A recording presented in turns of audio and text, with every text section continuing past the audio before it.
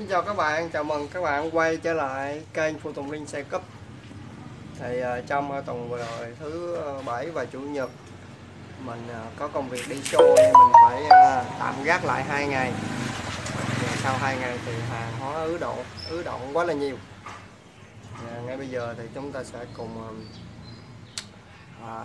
ship một cái đơn hàng đi Hà Nội cho khách nha thì nó có số một số món mới. À, mình cũng muốn giới thiệu cho các bạn coi.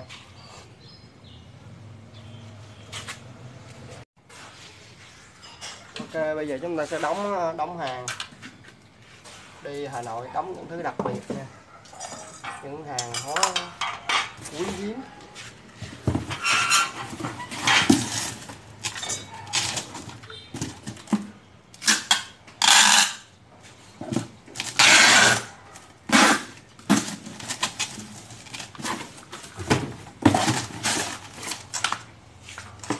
Tiên là một cái ờ, ba gà cá nán tâm 10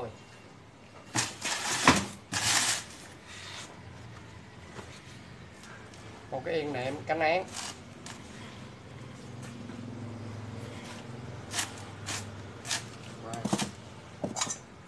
một cái chữ ô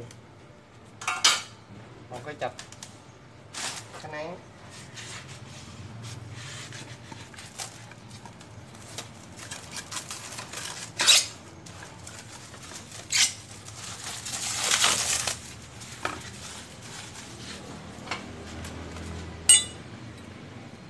cái giò lập thắng.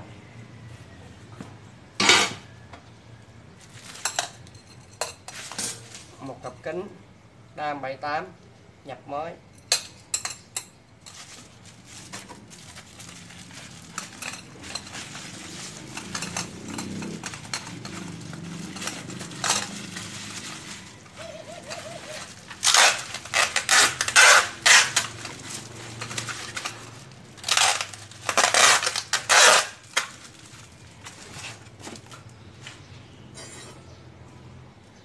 một cái ba ga giữa với một ba ga mũi với một bột tem.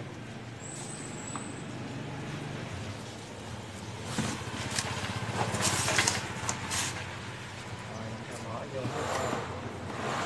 Bỏ vô không hết